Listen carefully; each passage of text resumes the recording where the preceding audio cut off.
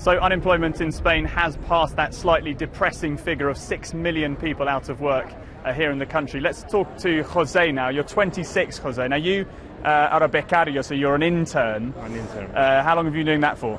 Uh, I've been an intern for one month, more or less. And that's quite a common phenomenon now. A lot of young people are having to resort to doing internships. How confident or how much hope do you have that you will find a, a permanent job?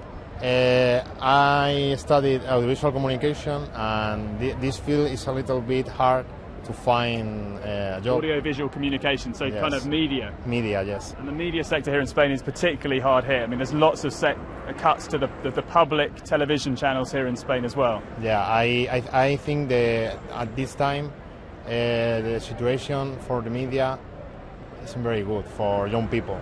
So I find I hope to find something of my field, but if it is impossible, so I, I can I, I try to to find something of another field that uh, could be suitable for me. A lot of young people of your age are, are thinking about moving out of Spain, leaving the country, because they don't see the possibility of finding work here. Is that something you're thinking about doing? Uh, I thought I thought about it uh, several times, but I think I'm not uh, up to it because I don't have the bravery. So, but I have friends that have made that. And, and tell me about your friends. I mean, what, how many of them are unemployed? Uh, I, I have two friends that went to Chile and they were unemployed he- here, and then there they have found job as media pro- professionals.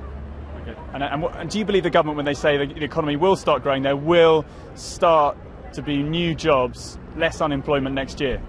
I, I think in time the situation will improve, but not this year, not the following year, maybe in two or three years or four, I don't know. Uh, with, with calm. Okay, Jose, good luck finding a job. Uh, so that's the sort of bleak reality for a lot of young people here in Spain, and it's very easy to find young people who are simply giving up trying to find a job in this country and are moving abroad.